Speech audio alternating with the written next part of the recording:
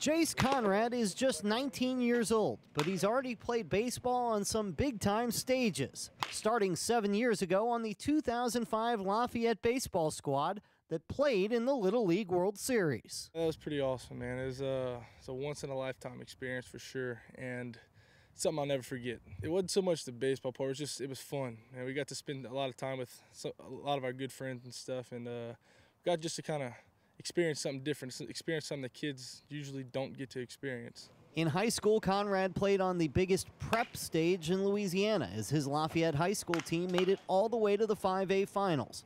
And now Conrad is playing Division One baseball at Louisiana Lafayette. The common thread to his career, he's been able to experience all of this while playing at home. We've watched him grow since uh, you know Little League, and uh, 2005 was an exciting year for us. Uh, obviously, going to Williamsport and seeing him grow, and uh, it's really a pleasure for him to sign here. And uh, I'm, I'm a proud dad. What can I say?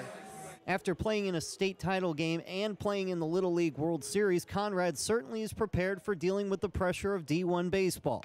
But if you think it's been a cakewalk for the freshman, think again.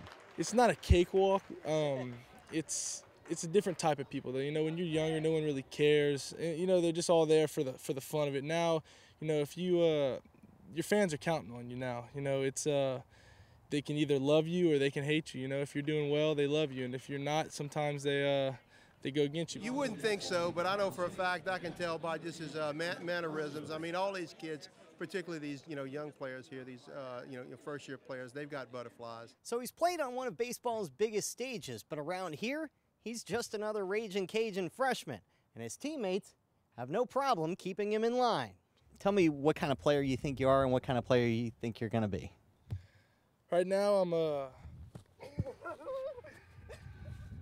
right now, I'm uh, I'm still learning. Uh, you know, I'm I'm like people who like him who just put the shaving cream in my face. He's one of the guys, Tyler Frederick. He's one of the guys who helps me around. You know, I'm still like I said, I'm learning. I don't know all the all the keys to being a good college hitter, especially. We envision him to become a big time impact player for us. You know, we, we recruited him because he was one of those guys. You know, he, he was the man everywhere he's been, from his little league team to his high school team. He was the guy that, that carried his team, put the team on his back. And that's the kind of guy that, that he needs to become here. Jace Conrad has his whole baseball career in front of him at ULL, but what a baseball career he's already had.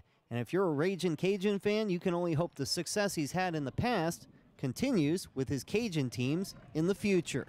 In Lafayette, Paul Boron for CST Tonight.